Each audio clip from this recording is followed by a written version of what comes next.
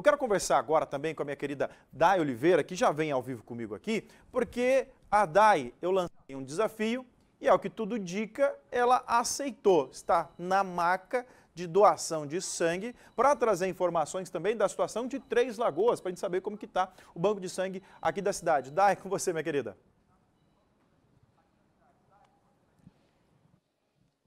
Oi, Rude. Olá também para todos que continuam na programação do TVC Agora. É isso mesmo, eu estou aqui no Hemosul de Três Lagoas, me preparando para já já fazer a minha doação de sangue, porque a gente tem também que dar ao, o exemplo. Né? Ao meu lado aqui está a Karine, que é a coordenadora aqui do Hemonúcleo, aqui do Hemosul. Do outro lado, a enfermeira, que já já também vai fazer o procedimento. Mas agora eu vou conversar com a Karina para saber como está a situação do banco de sangue aqui em Três Lagoas. Karine, bom dia. Atualmente, Três Lagoas está bem abastecido? Bom dia a todos. É, Três Lagoas passa por uma situação atípica das demais cidades. Nosso estoque, graças a Deus, está bom. Inclusive, nós estamos mandando bolsas para abastecer o Hemosul Coordenador. Recentemente nós tivemos até mesmo um mutirão aqui no Hemosul, né? E isso ajudou também a fazer esse abastecimento.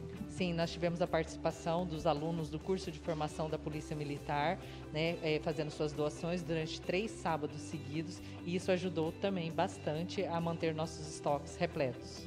Karine, qual a média de doações que Três Lagoas recebe?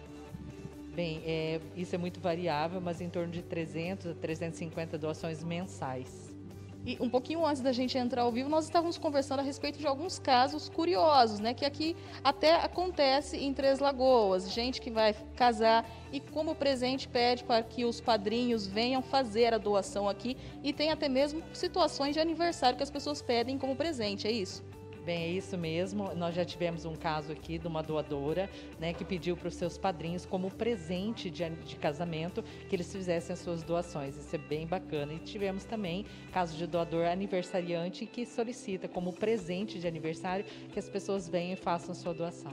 Isso ajuda bastante nossos estoques. Então, para quem vai casar, quem vai fazer aniversário, se quiser fazer esse pedido, tem como que o Hemosul faz essa organização para receber os doadores.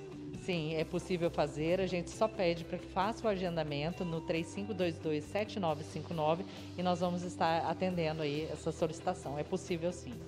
Lembrando também, né, Karine, que agora com as vacinas contra a Covid-19 tem que esperar um tempo para poder fazer a doação de sangue. Isso, é necessário aguardar um intervalo, conforme o tipo de vacina, variando aí de 48 horas até 7 dias, conforme o tipo de vacina. Karine, por mais que nós estamos bem abastecidos, que o Hemosul está bem abastecido, tem algum tipo de pedido especial para o sangue, aquele doador que tem um tipo de sangue, né? É uma necessidade maior aqui, queria fazer esse chamamento? É, as pessoas que forem do tipo fator RH negativo, O negativo, B negativo, A negativo, esses estoques nossos, apesar de estarem bons, são sempre muito bem-vindos. Não que os demais não sejam, tá? Mas esses tipos, geralmente, nós temos estoques baixos. Então, as pessoas que forem fator RH negativo podem vir fazer a sua doação, serão muito bem-vindos. Karine, muito obrigada. Bom, Rude, fica aí o recado. E claro, agora eu também vou dar o meu exemplo, vou fazer a minha doação de sangue, porque a gente sabe que pode salvar uma vida. Né? E aqui em Três Lagoas, por mais que o banco de sangue esteja bem abastecido, é sempre bom a gente fazer este ato de solidariedade. Eu volto com você aí no estúdio, Rude.